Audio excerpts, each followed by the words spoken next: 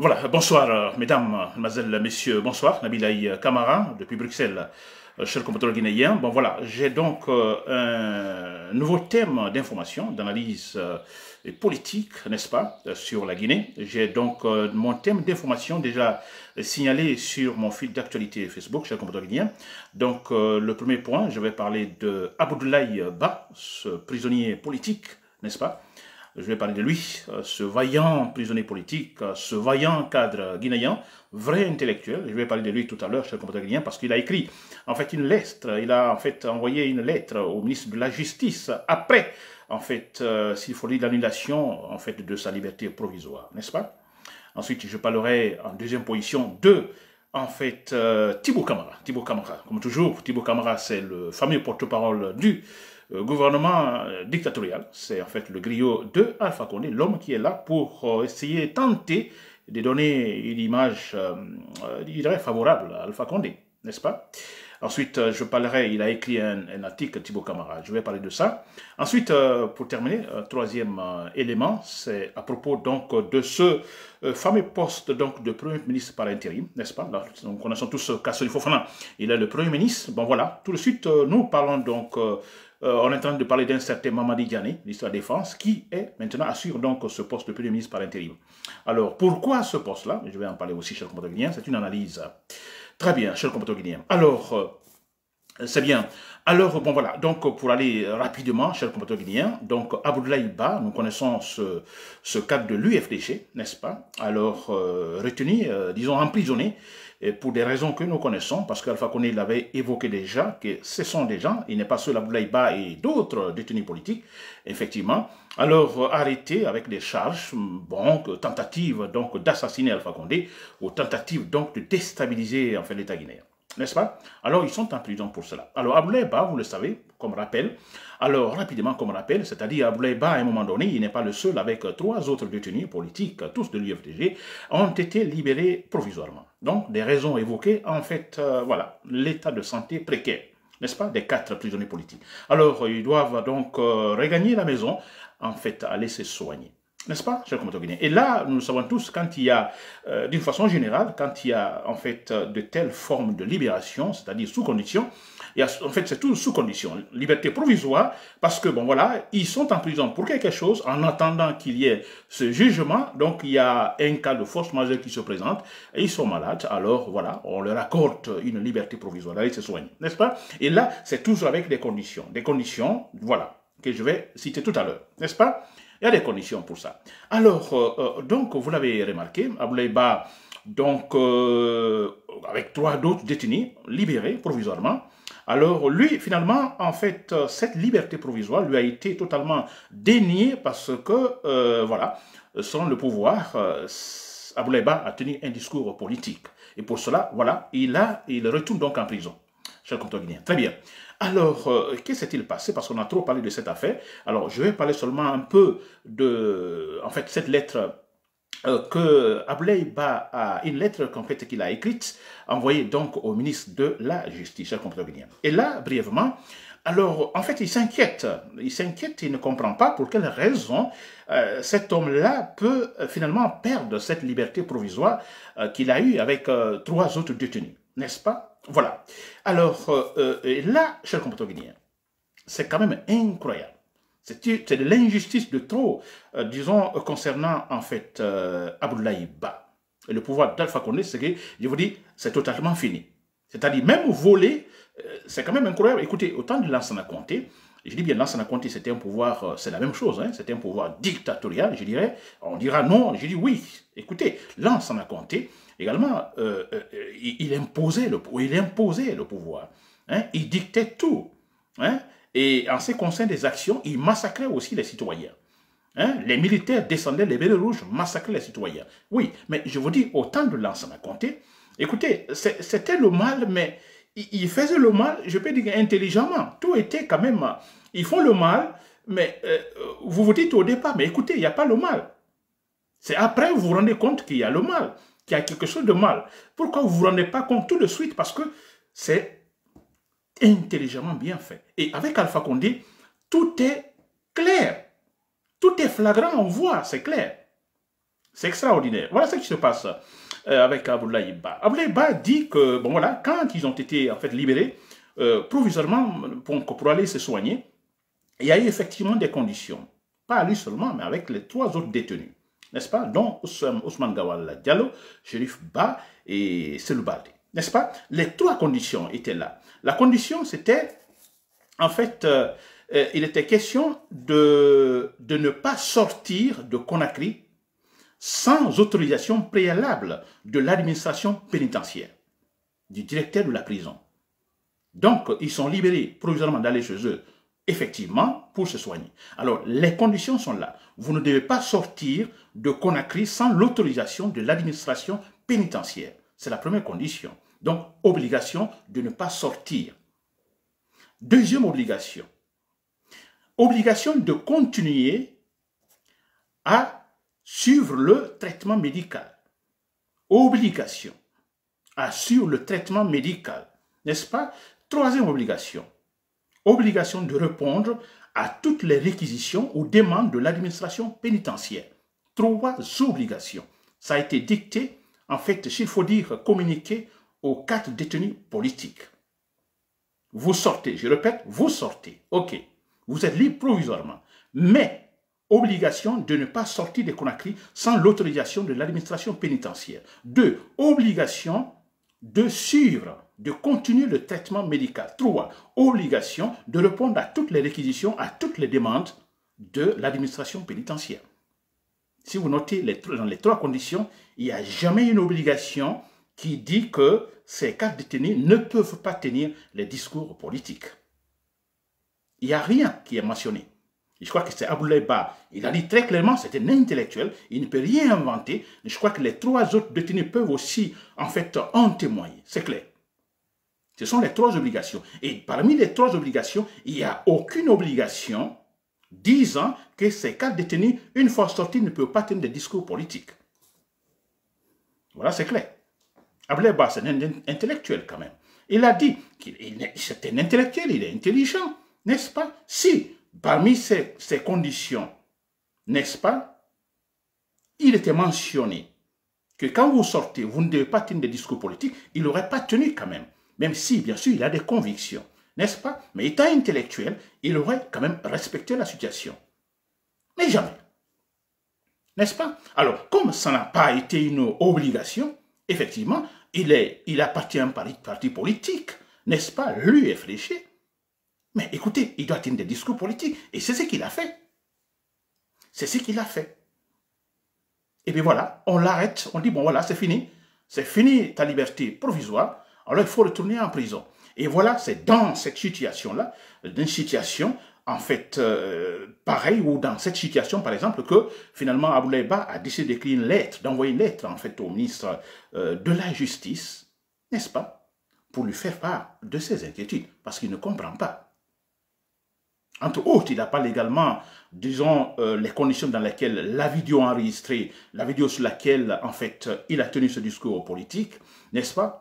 Les conditions dans lesquelles ça a été, ça a été en fait, enregistré, n'est-ce pas, cher Il n'a jamais été question de sa part de faire une diffusion publique de, en fait, du, contenu de ce discours à travers les réseaux sociaux. Il n'a jamais été question. Vous comprenez? Dans, une, dans un pays de justice, effectivement, Ba n'aurait eu aucun problème, c'est clair et net. Il a tenu un discours politique parce qu'il est politicien. Il est dans un parti politique. Et il a tenu le discours politique parce que dans les conditions concernant en fait sa liberté provisoire, cette obligation ne fait pas partie. C'est-à-dire tenir des discours politiques. Voilà, cher contemporains. C'était ça sur Ablaï Ba. Donc vous comprenez déjà encore de l'injustice de trop, n'est-ce pas? De trop, c'est vrai, parce qu'on dit, bon, écoutez, il a transgressé effectivement les conditions posées par l'administration pénitentiaire, alors là, il n'a pas raison. Non, cher compatriotes, vous venez le voir que tenir un discours politique ne faisait pas partie ou ne fait pas partie, en fait, des obligations que ces quatre détenus doivent, en fait, obéir, cher. Très bien. Alors, moi, tout ce que je fais, je remercie Aboulaïba, il a été très clair. N'est-ce pas? Il est dans sa lettre, vous allez, je vous, en bats lire, en fait, sûrement vous l'avez déjà lu, en fait, cette lettre envoyée, de Abouleb envoyée au ministre, c'est très important, il a tout dit, n'est-ce pas? Alors, il est prêt pour un procès, Mais où est le problème? N'est-ce pas? Alors, concernant, en fait, euh, l'une des conditions, euh, l'une des obligations de ne pas sortir de Conakry sans l'autorisation préalable de l'administration pénitentiaire. Alors, j'apprends que Aboulaye, plutôt, euh, comment il s'appelle? Ousmane Gawal est à Paris actuellement. C'est une bonne nouvelle, il est à Paris, il retrouve la famille, etc. C'est bien. Alors, ça signifie tout simplement que là, sûrement, il a, voilà, il a été autorisé par, en fait, l'administration pénitentiaire. Là, ce n'est pas un problème. Mais ce qui m'inquiète, ces hommes-là, ces quatre détenus sont accusés en fait, euh, je dis bien, les charges retenues contre eux, c'est une tentative d'assassiner le président. Et le président Alpha Condé, le faux président, il n'est pas président, mais je vais le dire, je suis en train d'analyser, Alpha Condé a dit que le pouvoir a toutes les preuves. Que le moment viendra, le moment du jugement, en fait, le pouvoir a toutes les preuves, n'est-ce pas, impliquant ces détenus. Voyez, ces détenus qui préparaient une tentative ou la tentative donc de l'assassiner, Alpha Condé. N'est-ce pas? Alors, ce que je ne comprends pas, alors quand vous êtes accusé, l'accusation est très grave, je le répète, très très grave, n'est-ce pas? Alors voilà, le monsieur a été libéré provisoirement pour aller se traiter, et très bien, voilà, euh, il sort maintenant de la Guinée. Maintenant, il est à Paris. N'est-ce pas? Dans les conditions normales. Si vraiment les charges retenues contre, en fait, ces gens-là, si l'accusation est vraie, si Alpha Condé détient toutes les preuves, vous comprenez? Pour quelle raison? Pour quelle raison pourrait-il ou peuvent-ils laisser Ousmane Gawal? Ici, je n'ai rien, je suis en train d'analyser, s'il vous plaît. N'est-ce pas? Je n'ai rien contre euh, Ousmane, vous comprenez? Mais comment peuvent-ils laisser en ce moment Ousmane Gawal sortir totalement de la Guinée? Et si c'est vrai, par exemple, Ousmane Gawal est capable donc tout simplement de noyer certaines preuves, n'est-ce pas Qui pourraient en fait l'impliquer, pour pouvoir se défendre. N'est-ce pas? C'est quand même incroyable. Cher Guillaume. Très bien. Alors, euh, vous l'avez compris, c'est tout un mensonge de Alpha Condé. C'est pas pour rien, nous les appelons prisonniers politiques, parce qu'ils sont là, effectivement, euh, pour les empêcher donc de parler, de critiquer Alpha Condé, d'organiser des manifestations, n'est-ce pas De euh, tenir des discours politiques impliquant Alpha Condé comme étant un dictateur. Mais c'est cela. Ce n'est pas pour rien que le ciel de l'UFDG est fermé. C'est pour ne pas tenir des discours politiques. C'est pour pousser, en fait, l'opposition à disparaître. C'est ça. C'est là le but principal. Voilà, ils sont libres. Ils sont libres, j'ai dit qu'ils sont libres définitivement. Hein? Ils, sont en prison parce que Alpha Condé dit, bon, écoutez, prenez-les, comme ça, on verra s'ils vont manifester. Non, c'est les têtes pensantes. Prenez-les. On va les empêcher de faire des, des discours, etc., etc. Vous avez vu, ils ont été libérés provisoirement. Il y a un qui tient un discours politique disant, bon écoutez, les élections passées, c'est celle qui a gagné. Bon voilà, tout de suite, ils retournent en prison. Donc ça signifie que la raison de leur présence en prison, c'est cela. Hein? Ils tenaient des discours politiques disant que c'est celle leur parti qui a gagné les élections. Comprends bien. Donc j'en passe. Donc le deuxième point. Il est question donc de Thibaut Camara. Alors, Thibaut Camara, c'est le fameux porte-parole du fameux gouvernement d'Alpha Condé, n'est-ce pas? Alors, il a encore écrit un article, un article casse-tête, une forme de salade, c'est vrai. Alors, euh, je ne vais pas tout lire, vous pouvez aller sur les sites d'information, vous verrez l'article en question. Euh, je n'ai pas la force de lire tout ça, donc euh, un paragraphe, je vais lire le premier paragraphe peut-être, ou deuxième, ou deux paragraphes que je vais prendre à tout ça, je vais essayer donc d'analyser. Le reste, franchement, c'est de la salade, n'est-ce pas? De la salade. Très bien, je comprends. Alors, que dit Thibaut Camara? Alors, le titre, hein, il dit, quand, le titre de son, en fait, de son article, euh, je cite, il dit, quand les hommes se prennent pour Dieu, n'est-ce pas? C'est quand même incroyable. Alors, Thibaut Camara écrit, je cite, il dit, la Guinée, c'est-à-dire avec ce premier paragraphe, vous lisez ce premier paragraphe, si vous êtes vraiment vous, vous lisez pour vous informer. Alors, quand vous lisez l'article, le premier paragraphe, vous lisez le premier paragraphe, vous essayez de comprendre le premier paragraphe, vous n'irez plus pour lire le reste, c'est clair. Je vous dire pourquoi. Alors, Thibaut dit dans le premier paragraphe, il dit la Guinée, malgré ce que l'on pourrait en dire, par dépit et dans les forces indignation des contempteurs zélés, vit les heures paisibles d'une histoire jusque-là tourmentée et imprévisible. Vous comprenez ce premier paragraphe Donc, selon Thibaut Camara, la Guinée vit des moments paisibles aujourd'hui, malgré tout ce que, en fait, l'on pourrait dire. Il dit en dépit et dans la fausse indignation de contenteurs zélés, il dit que la Guinée vit les heures, s'il vous plaît, d'une histoire, les heures paisibles d'une histoire, jusque-là tourmentée. C'est vrai ça, c'est le commentaire guinéen? Alors, ça c'est le premier paragraphe. Quand vous vous lisez ça, vous voulez vous informer, est-ce que vous, vous aurez l'envie de continuer pour lire le reste? Parce que le premier paragraphe déjà est faux, c'est du mensonge. Il n'y a rien comme vérité. Rien proche de la réalité. C'est du mensonge que la Guinée vive des, moments paisibles comme jamais auparavant. N'est-ce pas? C'est vrai que la Guinée vit des moments paisibles, c'est vrai. Comme les prisonniers sont, sont là-bas détenus, détenus politiques, des militaires arrêtés, combien de gens ont été massacrés Pensez-vous que ce silence-là, ça signifie quoi? La paix, Tibou Kamara hein? Le silence imposé par euh, le bruit des armes, par des tueries, mais c'est cela, Tibou Kamara. Ce n'est pas la paix. C'est parce que vous avez les armes. Il suffit que quelqu'un parle, vous l'emprisonnez. Il suffit qu'il y ait manifestation, vous massacrez. Tout récemment à Sigiri, dans un village à Sigiri, les femmes ont été brutalisées par des militaires avec le tir des balles réelles. Thibaut vous appelez ça Guinée paisible? Hein? C'est comme incroyable. Ça, c'était le premier paragraphe. Donc, vous lisez le premier paragraphe, vous n'avez plus envie de lire le reste, parce que c'est du mensonge, finalement. Généralement, le premier paragraphe, je dirais l'introduction, alors ça vous pousse à lire le reste. Mais si vous lisez l'introduction, hein, qui ne concorde pas avec la réalité, vous n'avez plus envie de lire le reste. C'est comme quand vous achetez un journal, papier, vous lisez, donc vous regardez le titre. Le titre attire, n'est-ce pas? En lisant le titre, vous comprenez? Vous saurez s'il faut continuer à lire le reste ou non.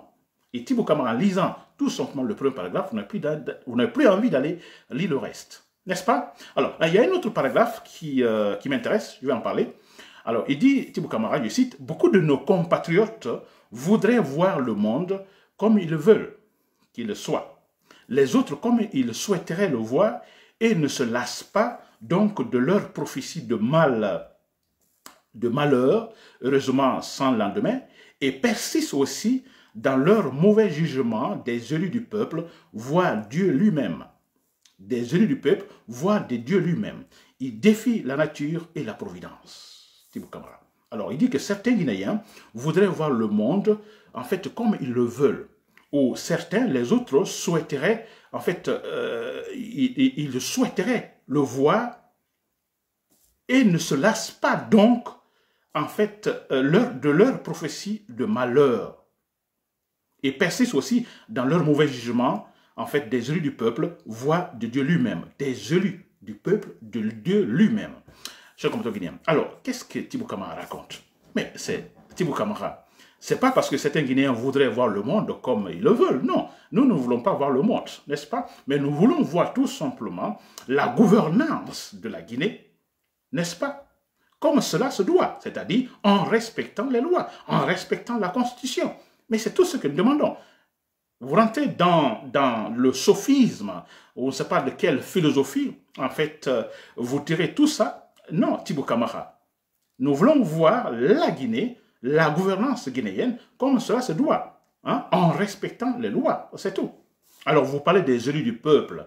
Thibaut Kamara, c'est bien les élus du peuple, vous pensez, les élections passées. Comment cela s'est passé, Thibaut Kamara N'est-ce pas c'est bien toute la Guinée qui a, tous les électeurs qui étaient là, actifs, qui ont voté, tous les partis politiques qui ont participé, et l'UFDG qui a participé. Thibaut comment cela s'est passé?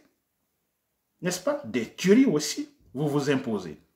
De façon flagrante, cher compteur guinéen. Voilà, donc euh, c'est Thibaut Camara, il dit que ces gens-là, ils, appellent tous ceux qui critiquent actuellement Alpha Condé, en fait, qu'ils défient la nature et la providence. Donc, euh, le fait que nous critiquons le gouvernement, la mauvaise gouvernance, n'est-ce pas? Les lois ne sont pas respectées, il y a un pouvoir dictateur, un, dictateur au, pouvoir, n'est-ce pas? Les gens sont massacrés. Nous critiquons Thibaut Camara que nous défions donc la nature et la providence, nous défions Dieu. C'est quand même incroyable. Qui se prend comme Dieu? N'est-ce pas? C'est Alpha Condé, vous Thibaut Camara, ou bien nous qui critiquons la mauvaise gouvernance?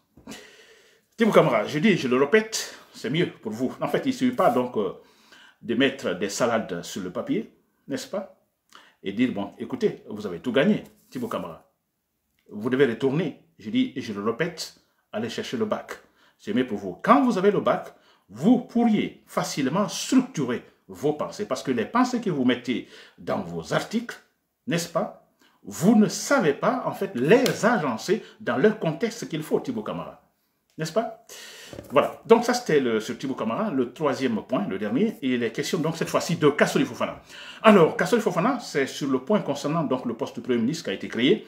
Alors, euh, là, la question que je me pose, mais poste de Premier ministre, pourquoi Kassoli Fofana, sa fille est décédée, c'est bien. Alors, euh, c'est normal qu'il s'absente à un moment donné, n'est-ce pas? Sa fille est décédée aux États-Unis, n'est-ce pas? Alors, euh, alors, mais moi je me demande, qu'est-ce qui pourrait pousser Parce qu'il faut de véritables déterminants, il faut une, véritable motivation, n'est-ce pas, pour qu'on puisse créer un poste de Premier ministre, en fait, euh, par intérim.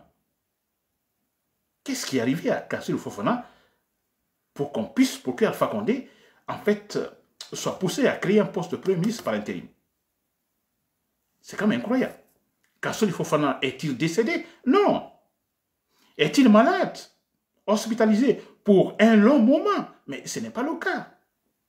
Est-il impliqué dans une situation, je dirais, dans une situation où il serait cité par un juge, n'est-ce pas? Une situation qui serait incompatible avec sa fonction de Premier ministre à un moment donné, n'est-ce pas?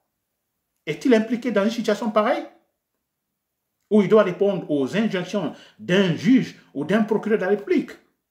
Et à un moment donné, et dans ce cas-là, le président serait obligé, en fait, de créer, de lui dire, bon, écoutez, monsieur le Premier ministre, allez-y répondre d'abord aux injonctions donc, du juge, et ensuite on verra après. Et dans cette situation pareille, on peut nommer un Premier ministre par intérim en attendant que le Premier ministre titulaire termine en fait son cas avec la justice.